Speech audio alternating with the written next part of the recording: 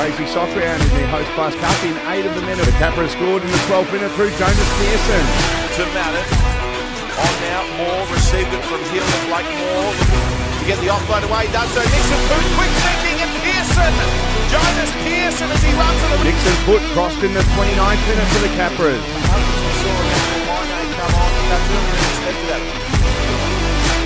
Yeah, definitely that's the case. This is over 100. All right, Captain going attack again.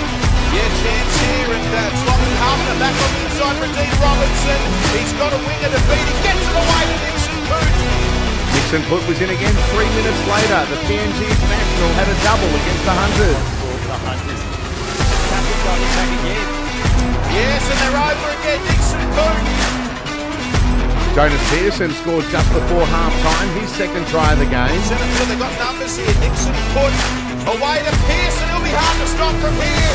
As Jonas Pearson crashes over. Oh, the game came in the 76th minute. A hat-trick to Nixon Putt for Central Queensland. Inside Robinson. Putt, hat-trick. Nixon Putt with a hat-trick for the Central Queensland Capras. What a performance.